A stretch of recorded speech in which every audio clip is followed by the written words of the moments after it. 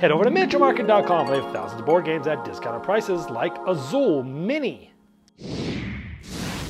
Hello, my friends. It's the Game Boy Geek here, and the summer's coming up, and people are going to be traveling everywhere. So why not talk about a travel version of a popular game that's just coming out now, Azul Mini. Now, I'm not going to tell you how to play Azul. I've already done that in another video. If you want to learn how to play Azul, you can click the link below or the little uh, there'll be a little eye up there in the corner. You'll be able to click and see that. This is going to be showing you what's different about this travel version, the different features that make it a good travel version, and I will be comparing the size of this with a measuring tape to the original one so you can see can it fit where you're planning on taking this this summer.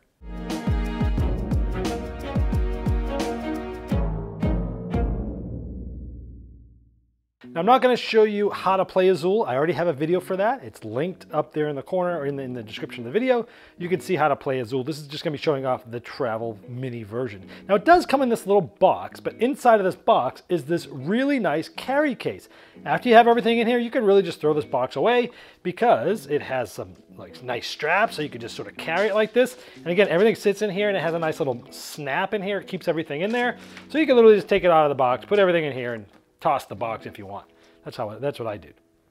Now here are the boards of this. Now there is a plastic top to this, which is really good because you're gonna be traveling and moving around and it has this thing where you're using this to get the score and it kind of like clicks into place a little bit.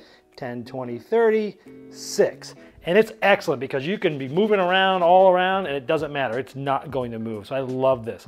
Another thing that you can probably see is that this has like some bubbles on here and that's because all of the tiles on the back side are concave like this. And they actually fit right in here like this. And again, they're not gonna move as you're in the car playing this or on a plane or in a small spot. You go like this, look at this. You can move this thing around and it's not moving. It's awesome. So you go like this, you know, at the end of the round, you're moving these over here, boom, like that. So the boards are great. And if you flip this over, you'll see it has the advanced side of the board without the colors, just like the real game. You can basically just take this cardboard out, flip it over, put it in there, and then you could have the, you know, play the, the more advanced game on the, you know, the side that keeps everything in, in check. Now there's also a little tray where the factories go. These are the little things that hold the, uh, you know, the, the, the, the, tiles there. And again, it holds all of them, but of course, if you play with less than four players, you don't need that many in there. But again, you can move this around and this thing is not moving out. So this is another awesome thing. You can put on a, on a tray table, on an airplane or whatever, and it's not gonna move around. So how big are these little boards? Well, below this, I have the standard Azul boards. I actually have the expansion that has a little plastic inlay on there. But look at that. You can see how much smaller it is if I just do it that way, or if I put it in the corner, you can see it like this. So let's take a look here. Now this is in the corner. So the board is seven and a half long, where the other one is about nine and a half. So it's about two inches shorter this way. And here uh, it is, let's go this way like this, it is six inches tall, and the other one is just almost 10. So it's almost four inches smaller in that direction.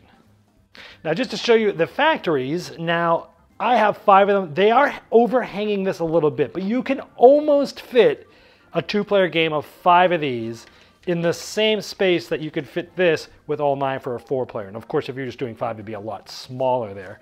But if we're looking at size, the standard ones are three inches and the other ones are about an inch, uh, it's like an inch and three quarters. So definitely a, a big difference there. And here is the standard Azul versus the little Azul, the little mini there. As you can see, it's definitely, uh, you know, different size. It's definitely a little bit smaller. This, uh, you know, the original Azul was just shy, about three quarters of an inch, where this is basically half an inch. So a little bit smaller there. Obviously, uh, you know, this has the concave back where this does not. And, you know, this is definitely lighter than this, but for the size, it doesn't feel like cheap. Now, many of you may have seen that recently I've started taking trips. I had a van that was a, a shell of a van that was converted into a full-on camper that I've been taking this to gaming events around. I've been gaming in this van. I've actually even played Azul two-player. I can fit the two-player Azul on this table here. However, if I'm going to play Azul Mini, I could actually easily fit a four-player game on this table. And with the way the table works, I can actually have four people in here playing Azul, where before I can only have two of them because it's all that could fit on this table. And it, these do actually fit on airplane trays as well. So that's pretty much, it's great for me. It's great for when you're traveling. Uh, it's great for the summer coming up here. That's Azul Mini. Now, before I get into my final thoughts, I just wanted to tell you about how you can protect yourself and your family online with Aura, who is sponsoring these final thoughts. Now, there's a lot of different ways to protect yourself online, but Aura brings all of these to you in one place. They feature a virtual private network known as a VPN, password manager, real-time credit and identity theft monitoring, internet parental controls, and protects your devices from malware. And you can try a two-week free trial to take advantage of all those services, as well as seeing how many data brokers are selling your personal information online and that they'll resolve on your behalf.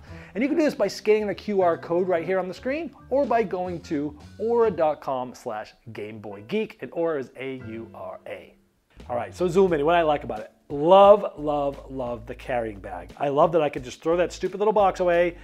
It's great for hanging in the store and seeing it, but throw it away. You got that nice carry bag. It accesses to the tile holder, the board holder, the rules holder, and everything's in there. I like that it has a little snap that snaps it shut, but it's also can be put right over your shoulder or you can just hold it. Brilliant. I love it. I've already thrown my box away. This thing's great. Uh, I love that the score tabs don't budge by accident. The plastic overlay on this is great. It's thicker than what you'd see in the expansion one that I showed you. It's just great. I mean, you need that in a travel game, right? So like if you're shaking around while you're playing while you're driving or you're playing on an airplane, that thing is not gonna move if you budge and that's fantastic. That's what you want in a travel version of a game. And match with that with those concave tiles. Beautiful. That works great. You saw me. I was shaking that thing around and those tiles don't budge. That's what you need in a game like this when you're going to be making a travel version. They knocked it out of the park here component-wise for sure. I love that you can still play with the advanced board. You just have to poke the uh, cardboard out, flip it over, put it in there. That works too. I'm glad that they, they, that they did that. I was, you know, I assumed they would, but I'm glad that they did. I liked it as a great sort of impulse price point. MSRP is $20 on this, which I think a lot of people are just gonna buy it just because it's, hey, it's a travel game, it's, it's that cheap, and they're gonna realize, hey, this is actually a really good game. Uh, I think it's a great way for people to try Azul for less money. If you've always heard about Azul and you're always like, yeah, look cool, I don't know, people say it's great, uh, it doesn't look like anything special or whatever, but this allows you to be like, now, what's 20 bucks? You know, it's an impulse buy. I'll buy this, I'll play the small version, and if I like it, and I like it enough, I'll buy the big version for home. I think that's a cool lower barrier of entry to get into Azul if you're not sure if you'll like it. I like that the factory tiles can even lay flat in that tray like I showed you, it won't even move. Uh, and you can play basically a four player game in a two player space from the original. Uh, it's a great way to play on the go. Uh, obviously, the only downside is it doesn't have quite the same tactile feel of feeling those bigger, weightier tiles. Although I will say that the tiles that come in here are a little more weighty than I thought they'd be, even though like they're a lot smaller and half of it's gone because it's concave. But overall, I think they knocked it out of the park here because again, the components and the way that they designed this is the biggest part because you don't just want a smaller version of the same game. You want a smaller version of the game that you can actually travel with, which you can because easy carrying around, and you can play it in weird spots that move around and it won't mess things up. And it does that. I think they knocked us out of the park.